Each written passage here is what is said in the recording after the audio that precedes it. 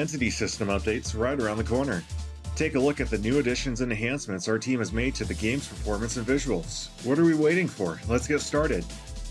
To kick things off, we've rebalanced Militant, and his weapon no longer has a reloading mechanic. And his max damage has been buffed. Towers now realistically aim their weapon at enemies. This change will make towers shooting at big or flying enemies look more appealing, as well as on maps where ground towers can be placed on higher ledges, such as the Wrecked Battlefield remake we're showing off right now.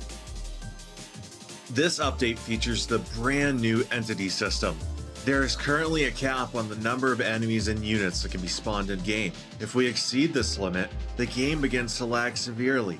The number of military base units spawned is limited as a result of this. We've made significant performance improvements with the new system, and it opens the door to new and more exciting game modes in the near future.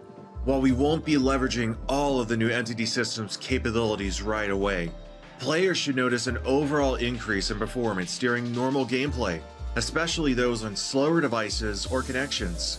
You won't be disconnecting from the game as frequently.